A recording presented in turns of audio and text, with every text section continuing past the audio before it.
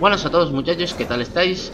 Espero que estéis bien. Y bueno, aquí me veis con la MP5 haciendo un poco el gilipollas, dando vueltas antes de empezar la ronda. Y bueno, hoy le toca el paso a la MP5, un arma de la pared. Y bueno, un arma que como todos ya sabéis es un subfusil, tiene una gran cadencia de disparo Lo cual pues nos perjudica un poco la verdad. Nos hace que pues, gastemos bastantes balas en poco tiempo. Es un arma que tiene 30 balas de cargador principal y 120 de secundaria. La verdad que aquí veis como me permite una gran movilidad. Pero el problema es este, que no nos da ni para pasar media ronda.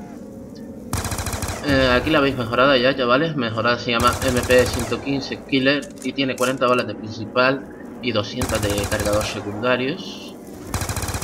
Y pues bueno, su cadencia mejorada pues aumenta, solo se puede mejorar una vez.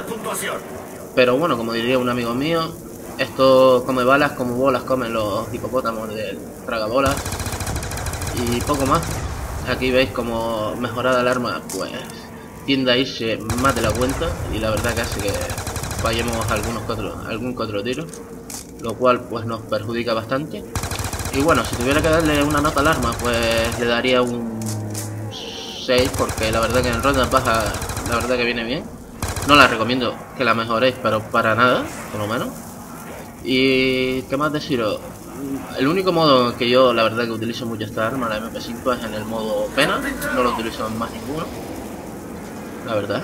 Y bueno, aquí veis que me quedo sin munición y tengo que ir ya otra vez a comprar munición, otros 4500 puntos que pierdo.